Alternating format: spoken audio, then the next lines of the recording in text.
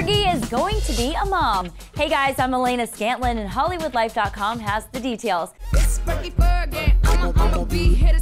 It's official, Black Eyed Peas frontwoman Fergie is pregnant. The pop star announced the news via Twitter that she and her actor husband Josh Duhamel were expecting, saying, Josh and me and baby makes three. The Hollywood couple has been fielding pregnancy questions since tying the knot back in 09. The couple seemed to have different responses to the baby question, with Fergie insisting it wasn't the right time, while Josh was more hopeful that it would happen soon. Finally, last year, Fergie told Oprah that they at least settled on the number of kids they'd like to have. You want a lot of kids? Two's our number.